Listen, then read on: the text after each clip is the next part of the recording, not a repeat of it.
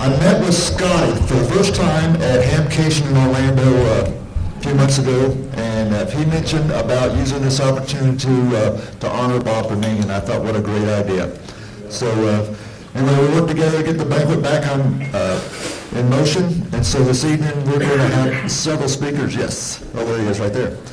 Uh, So we're going to have several speakers tonight. We've got, first up is uh, our friend Bob is going to come up and speak, and then uh, Frank Bauer, and then we're going to open the floor to allow anyone to come up and uh, share some remembrances of Bob Bruninga. I just want to say thank you for uh, organizing this, and uh, look forward to seeing how it goes. So we will uh, see where it goes from here. Okay, so uh, Bob, are you ready? All right. You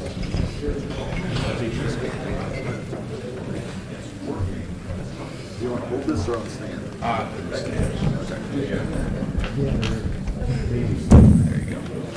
Good evening, I'm Bob, N4HY. So uh, for years, I've been in AMSAT, Bob Bruninga was in AMSAT, and I worked with Bob a few times and had some interesting interactions with him. I worked on a spacecraft with Rick Hambly at the uh, Navy Lab, uh, Naval Academy, and Bob Bruninga was there. Many of you know that Bob Bruninga built a bunch of spacecraft and sent them up to orbit, and we, we might know about them five minutes before they went to orbit. Uh, but Bob had one particular spacecraft which I'm going to tell you about. Bob bought cheap crap to build spacecraft he bought the worst Hamtronics crap you can possibly imagine. And he glued it all together, and if it worked in his lab for five minutes, that was adequate testing. so Bob put these Hamtronics modules in a frigging cake pan, screwed them into the cake pan. He actually got them on a progress and sent it to the International Space Station. and it worked like a champ until they decided to turn it off. Why might they turn it off, you say? So it's sitting on the outside of the International Space Station, harmonics and other trash bleeding all over the place. And the progress module comes in and gets close to Bob's spacecraft, and suddenly they can't command it. oh my goodness, what is this crap interfering with the progress module? Bob was nowhere to be found. They send the police to find him. and he tells them how to turn his Hamtronics pie pan crap off and the progress docks. That, my friends, is Bob Bruninga. So Bob had a Prius, and it was a neat little vehicle until he totally hacked it from beginning to end. Solar panels everywhere, 100-foot telescoping mast. This thing was right out of a science fiction movie.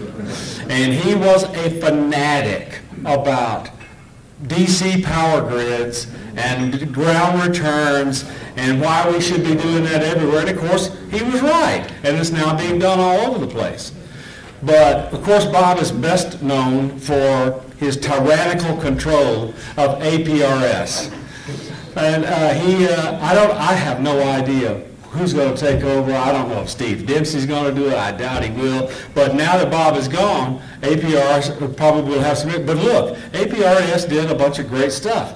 I mean, I pop, pop it on in my car, and you can follow me all across the country, and it works like a champ. Bob kept it simple. He added a few messages, especially when he wanted to put them in spacecraft, and you'd be able to have things come through the spacecraft. Uh, and he, APRS was the thing. He got ro- regular royalties from Kenwood in every radio that contained APRS, and he just did a great thing. If we remember Bob for nothing else other than the interesting Asperger syndrome person he was, we are got to remember him for APRS. Uh, we will miss Bob because he was very entertaining. He was interesting to talk to, and he would always leave you puzzled until you figured out exactly what he was talking about, and then we would go on. I wish I knew a lot more personal things about Bob, but I figured these anecdotes probably nobody else but me would tell them. So anyway, that's it for me.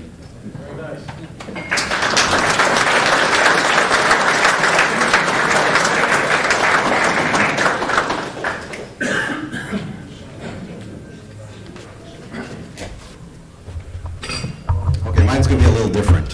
For those that don't know me, I'm Frank Bauer, KA3HDO, and I'm uh, the Executive Director of ARISS, uh, the ARISS program. Let me first say that uh, the ARISS International team really mourns the loss of uh, Bob Bruninga, WB4APR. He's a genius who pioneered digital amateur radio techniques, invented the APRS digital signal protocol, and designed innovative, the innovative uh, ARISS Kenwood radio crew interface. Bob's passing on uh, February 7th of this year was a huge blow to our human spaceflight image radio team. Uh, Bob's brilliance, um, which you could look at it in a couple different ways, um, it basically permeated all through the image radio community, primarily because of his invention of APRS. Um, and in his own words, Bob described APR, his APRS vision as a two-way tactical, real-time digital communication system between all assets in a network, sharing information about everything going on in the local area. Did you catch all of that? That's Bob. um, so I lived in I live in the Washington D.C. area. I was fortunate enough to uh, I was an active I still am an active AMSAT member and uh, Goddard Amateur Radio Club member, and so I was fortunate enough to to, to call Bob a, a friend and colleague. Bob's creativity, uh, genius, passion. Um, I, I worked with him from the middle 1980s until he, his passing. Whether it was packet radio communications, the Naval Academy shipman uh, education and mentoring that he talked about all the time, or solar electric cars and, and, and houses, Bob's infectious enthusiasm was ever present. In the early days of APRS, um, I used to listen intently when Bob would come by the radio club and gleefully talk about his use of APRS in real time to track the uh, midshipman's 230-mile trek uh, of the football from the U.S. Naval Academy to the, uh, to the uh, Army-Navy football game. He'd be pulling out his graphs, and, you know, his, his papers, trying to show me all what was going on, and a little later, computer uh, program showing all that was going on. It was really cool to, to see this and, and to watch the folks trek up uh, the East Coast for the uh, naval, uh, the Army-Navy game. But but I want to focus on uh, human spaceflight for a little bit here. Bob's contribution and creativity to human spaceflight really started uh, almost 40 years ago in uh, 1985, in early 1985, when um, astronaut Ron Parise was originally planned to fly in um, March of 1986, right before the uh, Challenger accident, which of course got delayed. But uh, Bob uh, was working with an AMSAT team and a TAPR team um, to work with us on rapid message protocols uh, for what we call the packet robot. Um, the packet robot ultimately will become a mainstay um, use on the shuttle image radio experiment or our shuttle program of the day. And it allowed hams to conduct uh, rapid multi-QSOs, multiple QSOs at, you know, at the same time with the shuttle ham radio system autonomously while the shuttle crew was busy doing other things. In particular, Ron Parise was doing an astronomy mission. He wanted to do ham radio, and uh, this gave him the opportunity to do that. And part of the design of that included a meta beacon so that they could, the crew could actually type in little beacons and, and, and send them out uh, progress reports as they were going along. So um, we started this um, packet development efforts at uh, a pizza dive right near the Goddard Space Flight Center with uh, Tom Clark, K3IO, um, Bob, uh, Dick Daniels, W4PUJ, and myself on a weekly basis getting together. Tom and Bob would be talking to all the different TAPR and, and AMSAT folks coming up with ideas. And um, I, right before, well, it was actually after Tom's passing, um, I asked Bob about you know, the genesis of APRS and, and, and relative to the packet robot stuff, because I knew there was a definite connection there. And Bob basically told me that uh, the discussions helped him firm up his ideas on how APRS could be used not only as a positioning tool, but as a communications capability, allowing rapid status and message reporting, thus allowing lots of people to rapidly make exchanges during the brief satellite pass. So as, as I said, this was a mainstay on SAREX all the way through the, the rest of the, the uh, 23 missions uh, that we used it. Um, but besides the packet robot activities, um, one of my most memorable experiences with Bob um, was those of you that um, know, you know about the 12 meter dish at the Naval Academy. Some of you know that. They, there's a 12 meter dish at the Naval Academy. And um, on a few of our SAREX flights, we were trying to do um, ATV uplinks. And the dish was a great opportunity to do that. So uh, Bob got, you know, permission to use the dish, and we got all set up and everything. And so I was going to go over there one morning while we did a shuttle pass. Get over there, it's drizzling. I'd never been to the facility before, so I parked the car, and I thought, well, you know, they're going to have me move this. And uh, Bob greets me at the door, and he says, uh, I said, Bob, where should I park the car? He says, oh, just leave it where it is. I said, okay. So I go inside, and we're working, you know, getting ready, getting ready for the pass. It's time to move the dish to the right position. All of a sudden, somebody said, hold it, wait! And they stopped the dish. Bob and I walk outside.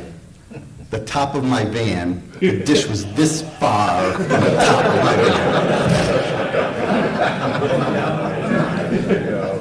When the pass was over, you know, of course I moved my car. Um, when the pass was over, I said, I looked at Bob and I said, Bob, I don't know what my insurance company would say, and I don't know what the Naval Academy would say, but I sure am glad that didn't happen. So um, in the early 2000s, when ARISS was developing its second generation uh, radio system, Bob became the chief architect of the ARISS Kenwood D700 radio program modes. Uh, our main objective was to make the crew interface very simple and easy to switch operations. So we do packet, you know, um, voice operations and things like that. Um, a number of individuals from AMSAT were involved in this. Um, basically, Bob distilled the requirements into a really nice interface that has five program modes that allow us to do school contacts, voice repeater, APRS, experimental operations, and backup com. Because you remember, for those that don't know, we're backup com to the International Space Station. So all of this capability was uh, built into the system with all the frequencies, and uh, it became a really good system for our program. And then in 2015, um, we did it again with Bob. We had a face-to-face meeting at the Johnson Space Center.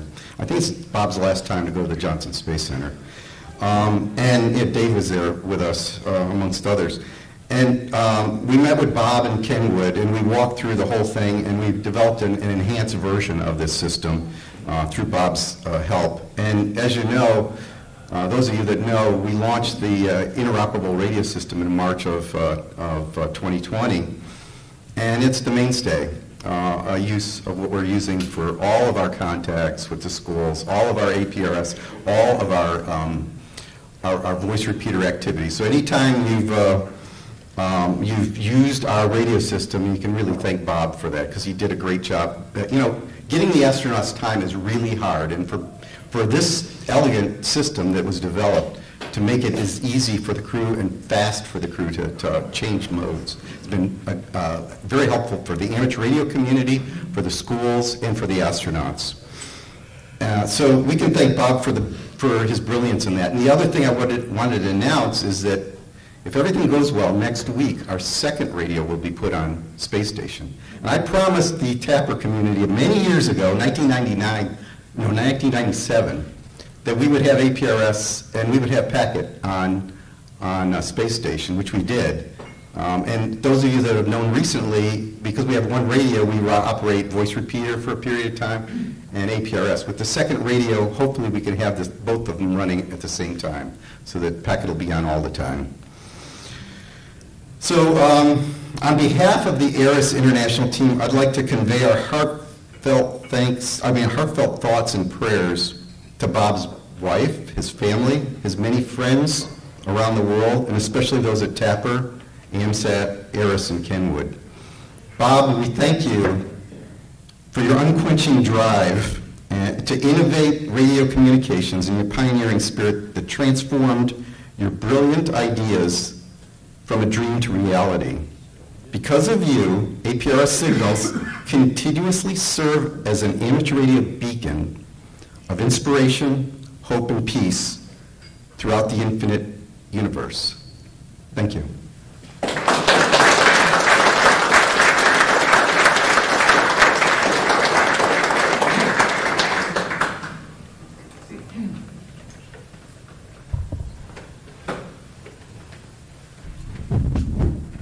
All right, Bob and Frank, thank you very much. Uh, I'm going to open the floor at this time. If anyone would like to share an anecdote or a story about Bob, uh, please do so at this time.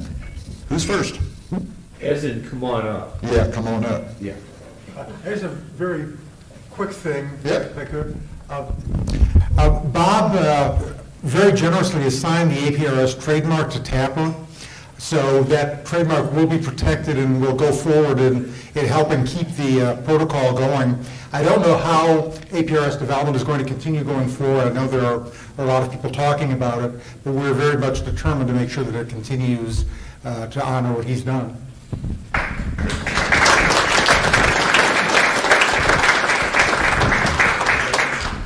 Well, I didn't know Bob very well, but he was uh, usually a fixture at DCCs. And I remember one some years ago, this kind of builds on uh, Bob's story of, of uh, Bob Bruninga's haywire mentality and, and, and making something functional and useful out of parts and nothing. And, and uh, if you remember the Kenwood radio, the D700 mobile radio, well, Kenwood decided they were going to come out with the, I think it was called the RCD10, which was because all of the APRS and packet functionality was in the head of the radio. So they came out with a head of the radio that you could then plug onto one of their, one or two of their other radios and make it into an APRS radio. Well, they decided to sell this as a separate accessory. It was pretty expensive and not very many people bought them, so then Kenwood decided they were going to cut the price to 100 bucks. Well, Bob saw that $100 price on this front end, this, and it had a screen and everything. So he bought, I don't know how many of them he bought, I probably bought the local store all out of them. And he brings this contraption to DCC, and it's a DRCD710, and he had an HT and a battery and a GPS duct taped together. And this was Bob's portable packet terminal that he brought to show up at DCC. And I just want to mention this because the first thing I did is I called my local HRO in Phoenix and I bought their last one of the D710s and it was because of him. So, and I still have it too, so I'll make something out of it, some haywire thing that would make Bob proud. Thank you. Who's next? Come on up. Here comes Nick.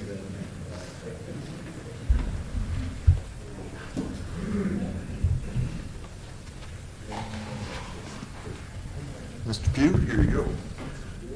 I I don't think I'm any secrets. Bob didn't have a whole lot of uh, life or re- red tape.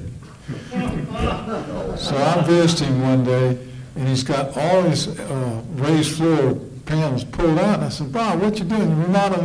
He says, I'm hiding the stuff I don't want the auditors to see.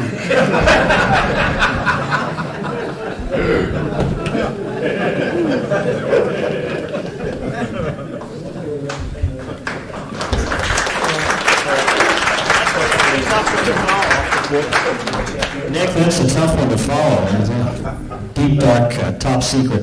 I'm Keith Baker. For those of you that uh, don't know me, I mean, a lot of new faces here. I'm the past president, uh, walked uh, in his shoes. Well, actually, he's walking in my shoes. And we learned very quickly that being president of AMSAT is a lot like herding cats. if you've ever done that. But anyway, I have an interesting story, uh, as near as I can remember it, about Bob. Uh, it was right here at one of the Hamventions. We were still at Hara, and uh, Bob was, as uh, Frank was saying, was always looking for something creative a different way to do things.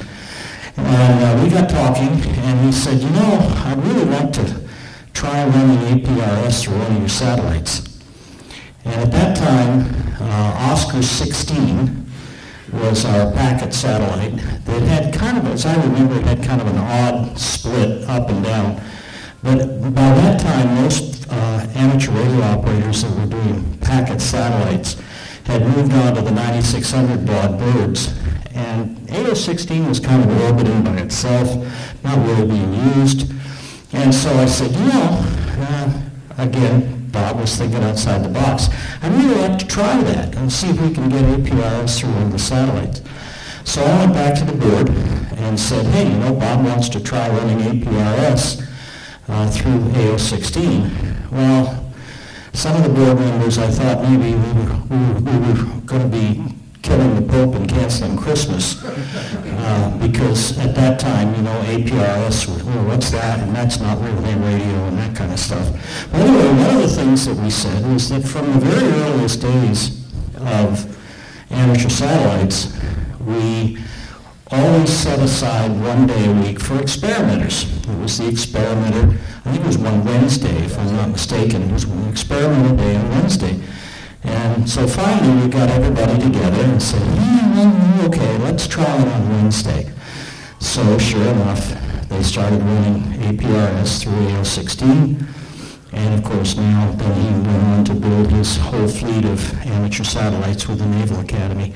So I kind of like to think that Hamvention was, as it has been in so many different ways, kind of a, a forum for a lot of our inside folks to get together and come up with some back of the napkin type ideas. But uh, it also was the fact that again it was Bob thinking outside the box. So, sir, may you rest in peace. He certainly has done a heck of a lot for amateur radio, and a lot of it was done behind the scenes. You know, he, he didn't really uh, beat the drum too much. He just kind of plopped along and, and said, well, let's try this. So anyway. Thank you. You bet.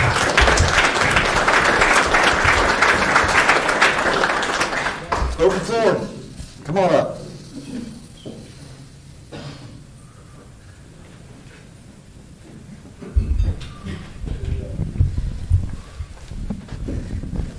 Hi, I'm Nathaniel W2NAF. So I never got to um, really know Bob or interact with him a whole lot, but there's one time that I, the first time I met him, it was a really interesting experience, and it really stuck with me. It's very memorable. And so um, I really got my start in amateur radio through scouting. And so as a scout, in a scouter, uh, back when I was about 18 or so, um, I had the opportunity to go from my hometown in Bloomfield, New Jersey, down to the Naval Academy for one weekend where they, the midshipmen put on a merit badge there. And so you had all these scouts running around the Naval Academy, and I had the good fortune of being able to just kind of wander the halls of the Naval Academy um, as a young person and see what was going on. And one of the labs I just happened to walk into was the one where Bob Bruninga was. And I knew who Bob was because I knew what APRS was and I knew that he was famous and, and, uh, and then I just happened to walk in and I said, hi, I'm, what are you doing? He said, oh, I'm Bob Bruninga and I'm working on building this CubeSat. And, you know, my jaw just kind of dropped open because I'd never actually seen like a real thing that was actually going to go to space before. So that was that was a really special moment for me to to uh, see that. And then after that, he said I stayed with him a few minutes. He's like, you know, we're actually going to go talk to the ISS in a few minutes over amateur radio. And so he then brought me into another room where they had the station set up. And sure enough, the ISS pass came over. I got to listen to them talk. Um, the other scouts were there as well. And uh, one other memorable thing I remember is um, the astronaut. I think he was Army and uh, we were at the Naval Academy. So they had some words going back to us. So, but um, and that was my my first and uh, really um, my last real uh, interaction with Bob Dominga. But, you know, I'll always remember that from being a very young amateur radio operator. I'll always have that memory of getting to meet him and having that very special experience.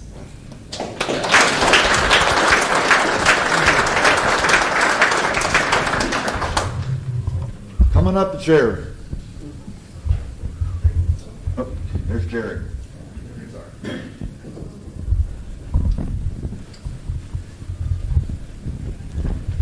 This is a little of a, a side interaction with what went on. I did know Bob. I worked with him, talked to him several times, or and sometimes at the uh, symposiums and such.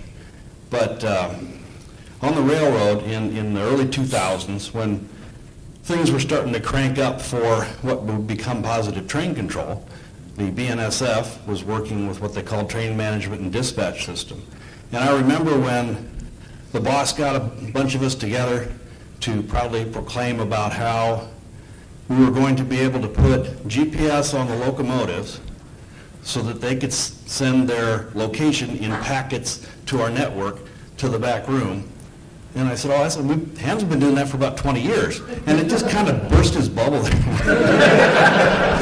But, but I, I, I kind of wonder if somehow that, you know, fact got to be part of what the spark for that idea was. And that is what has become PTC now, Positive Train Control.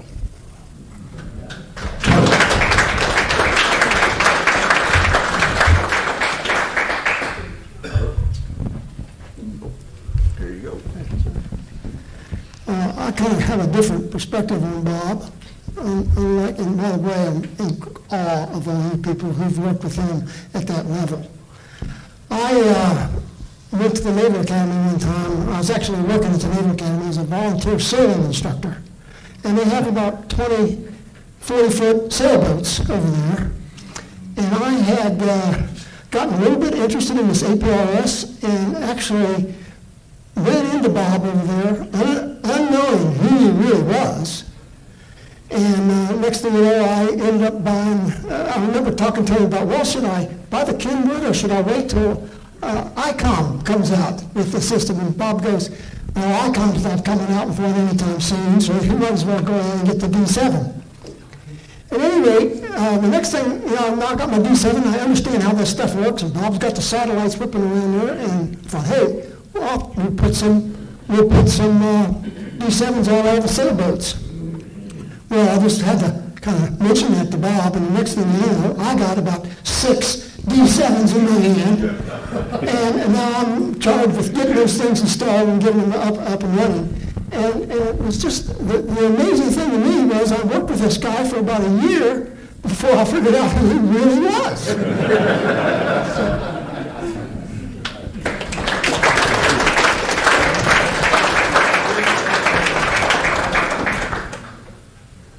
It doesn't bite. Come on, get it.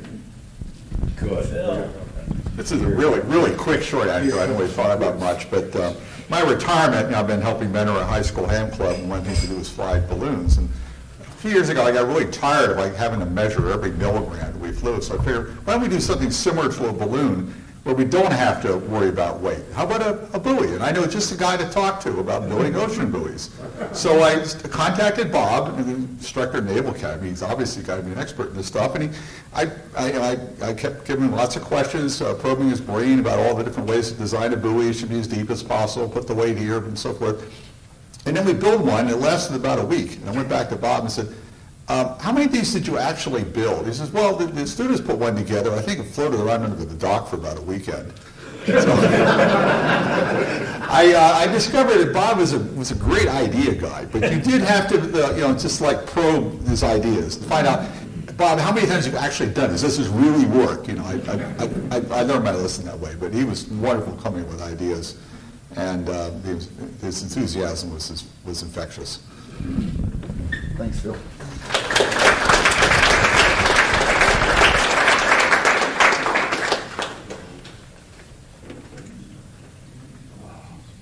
I don't want to say last call. Anybody else? There we go.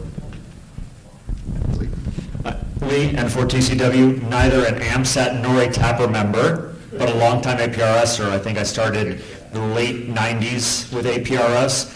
And uh, Bob was great. I was uh, going up to DC to do some work with a friend of mine, uh, demoing some stuff to the, some government agencies, and I was in the Marine Corps Reserves.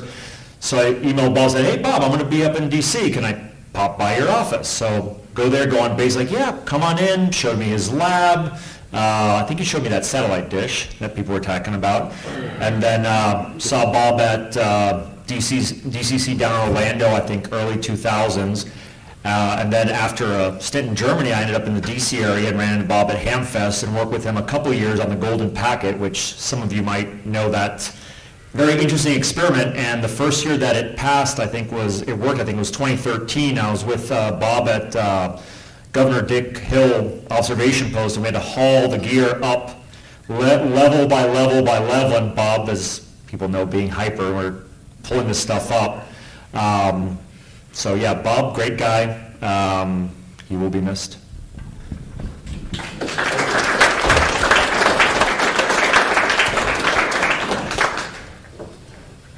Anyone else still early? Yeah, we can use it. All right. I want to, uh, I guess before we close up there, uh, to thank you all for coming to help uh, celebrate Bob Bruninga and his life. Uh, Some great stories and great memories. He's going to be greatly missed. So uh, I look forward to uh, seeing y'all the rest of this week at, uh, weekend at Ham and uh, obviously over by the TAPR booth especially. Uh, With that, thank you for coming and we'll see you next time.